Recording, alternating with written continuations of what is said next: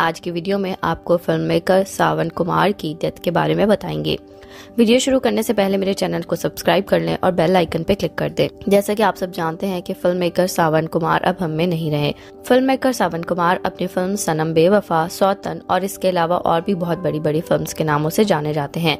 सावन कुमार की death heart attack के कारण हुई। उनके बारे में रिपोर्ट्स में बताया जा रहा है कि उनकी हार्ट अटैक के कारण डेथ हुई, जबकि उनके मल्टी ऑर्गन फेलियर हो चुके थे। इससे पहले भी सावन जी काफ़ी ज़्यादा बीमार रह चुके हैं। ट्वेंटी फोर्थ अगस्त को उनको हॉस्पिटल में एडमिट करवाया गया था, जहाँ पर उनकी तबीयत कुछ ठीक नहीं थी। उनके लिवर बहुत ज़्यादा वीक थे और कोई भी मेडिकल ट्रीटमेंट उन पर असर नहीं कर रही थी और थर्सडे को उनकी डेथ हो गई। उनके नेफ्यू ने ये रिपोर्ट शेयर की है और उनका कहना है कि सावन जी को जो है वो हार्ट अटैक आया था और आज उनका फ्यूनरल रखा गया है। इसके अलावा उनके नेफ्यू भी एक फ़िल्म मेकर है। सावन कुमार के जाने पर सलमान खान भी बहुत ज़्यादा दुखी हैं और सलमान खान ने उनके जाने के ऊपर बहुत ज़्यादा दुख किया है और साथ में उन्होंने उनके लिए एक पोस्ट शेयर की है और साथ में लिखा है कि may you rest in peace my dear Sawan ji have always loved and respected you Salman Khan ने सावन जी के साथ अपनी एक पिक्चर भी शेयर की है।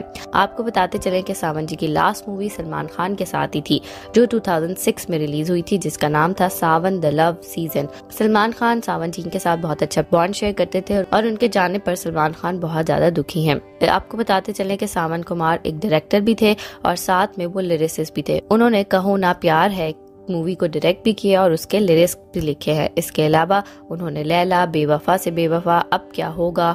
हवस और भी बहुत सारी मूवीज़ की हैं जो बहुत ज़्यादा सुपर डुपर हिट गई हैं और बॉलीवुड के लिए एक और सैड न्यूज़ सामने आई है। आप सावन कुमार जी के जाने के ऊपर क्या कहना चाहेंगे? आपको इनकी कौन सी मूवी सबसे ज़्यादा अच्छी लगती थी? हमें कमेंट्स में बताना ना भूलिएगा।